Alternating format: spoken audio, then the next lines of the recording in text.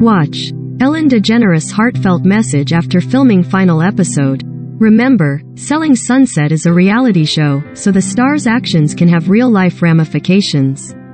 Which is why star Mary Fitzgerald is sounding off on that alleged bribe from season 5. For those who've yet to finish the season, in episode 10, fellow realtor Emma Hernan told Mary and Oppenheim Group boss Jason Oppenheim that rival Christine Quinn offered one of her clients $5,000 to not work with her. And while the moment was shocking for viewers at home, Mary revealed that the alleged bribe could have been a far bigger issue for the realtor and the brokerage. According to Mary, the offer was completely unethical, but also bordered on illegal if a key document had been signed. If Emma had had the listing agreement signed already, which she was getting ready to, it would be illegal, Mary explained, so Christine would lose her license, she would lose everything. But the listing agreement for this particular property wasn't signed just yet, luckily. Otherwise, she would have legal. She also told E! News that the office backed up the story.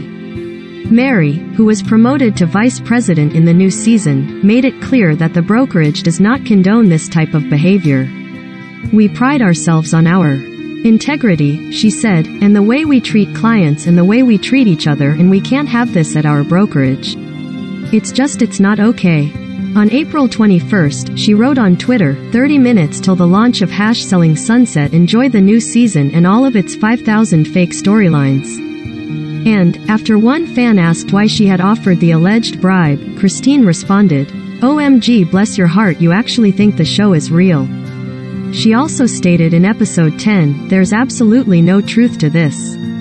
I don't know why Emma is once again trying to make me look bad and stir the pot and make up lies about me. Christine's fate at the Oppenheim Group seems to be up in the air, however, with Mary suggesting that a decision will be announced during the reunion. I think that's going to have to be up to Jason.